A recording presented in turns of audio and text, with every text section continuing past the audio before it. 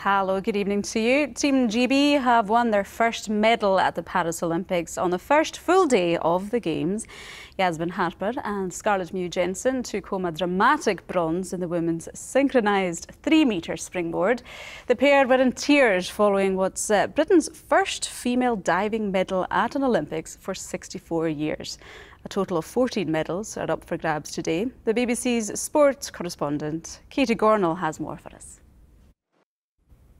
in cycling and Anna Henderson won silver for Great Britain in the women's time trial earlier as she edged out the USA's Chloe Dygert by less than one second. In the men's race, 20-year-old Josh Tarling suffered a puncture which meant he finished just two seconds outside the medal positions.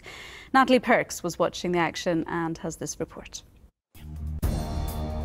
Tonight, Britain's Yasmin Harper and Scar Scottish Conservative MSP Russell Findlay says he's been warned by Police Scotland of a threat to his life. Mr Findlay, who's running for the party leadership, says he was told that a known criminal was behind the intimidation.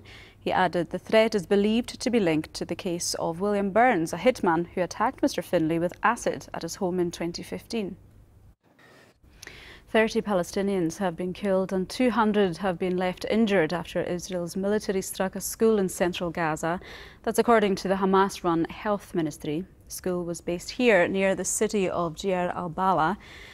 The Israel Defense Forces also attacked parts of Khan Yunis to the south. They're ordering civilians to evacuate from there to an adjusted humanitarian area in Al Mawasi along the coast amidst an ongoing operation against Hamas fighters who've apparently regrouped there.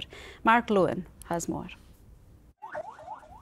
Within the past hour, Israeli state media are reporting that at least nine people are dead and dozens more injured in a rocket strike on a children's football pitch.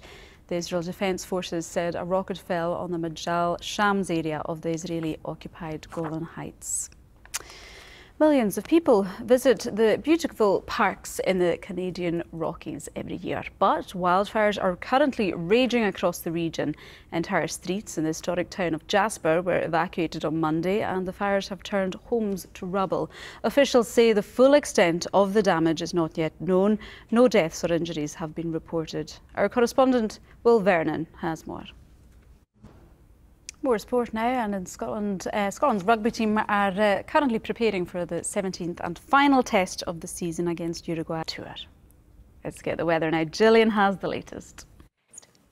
Thanks, Gillian. Just before I leave you, a Scottish couple hoping to become the first mixed pair to circumnavigate the UK mainland in a rowing boat, unsupported, have just passed the halfway mark. In the and that is all we have for you. Thank you for your company. Good night.